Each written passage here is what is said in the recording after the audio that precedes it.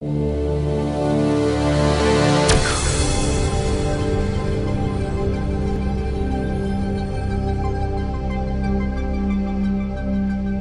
This is this is a more psychological type of trick. Would you take that diary for me? All right. Um, this is all to do with numbers and psychology and stuff, right? But numbers, really, they play a big part in our life now. I think you know you pin numbers and your phone number that you're going to give me after I've done this trick and stuff. yeah. Well, maybe not. um, but there's one number in particular that means something to all of us, and that, that's your date of birth. Yes. Okay. And if you have a look through that diary there. You, if you have a look through, there's a number written next to every date in the diary, okay? And are, you can look, you can check they're all different, it's all mixed up all the way through, right? Yep.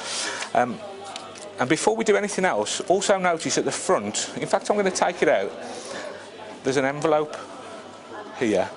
Would you look after that for me, please? Of course I will. We'll come back to that in a second.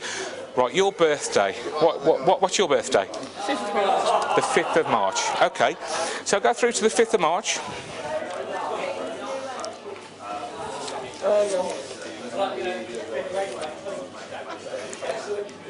And the number 20, right?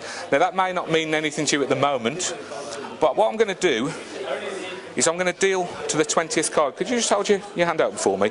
So the 20th card, here we go. One, two, three, four, five, six, seven, eight, nine, 10, 11, 12, 13, 14, 15, 16, 17, 18, 19, 20. You hold that for me. Now, if you'd have had 19, it would have been the eight of clubs, all right? It would have been a different card.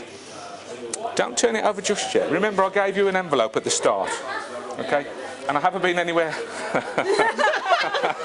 you should have. I haven't been anywhere near. could you could you take that card out there? Okay, let's have a look what the card is. The eight of diamonds. Now, there's no way I could know your birthday, and there's no way I could know what was the 20th card in the pack, right? Would that be good if that was the eight of diamonds? Would you be impressed? Be, yeah. What about you? Would you be impressed? Freaky. You're not going to believe this. Have a look. If it's not. it, it is. Thank you.